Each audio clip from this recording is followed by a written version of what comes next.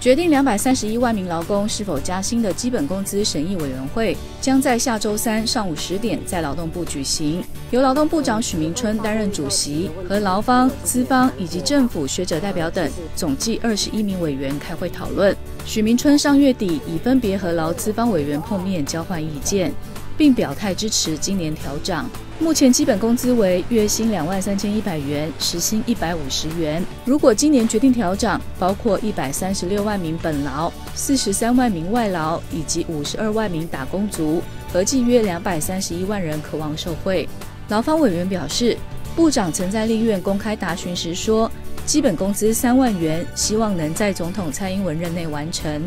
目前基本工资离三万元还差了七千元左右。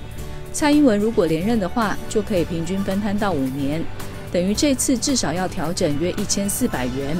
约六趴以上才算有诚意要兑现承诺。以往劳方会提出二十趴以上的涨幅，但往往只是让资方讨价还价的空间。今年劳方较务实，综合重要民生物价等指数和经济成长率等，至少不能低于去年涨幅五趴以上是合理数字。全国产业总工会认为，基本工资过去历经十年动涨，是台湾至今低薪的元凶之一。已经向劳动部长表达，要以二零一八年最低生活标准乘以就业抚养比调整基本工资。以二零一八年最低生活费一万三千五百八十一元来算，月薪应该要达两万九千一百九十九元，时薪一百六十九元。据了解，资方委员已规划下周一先碰面，讨论对基本工资调涨看法与协商策略。对于劳动部四处放话要涨，资方认为今年受到中美贸易战影响，希望不要调整。基本工资跟低薪关联性不大，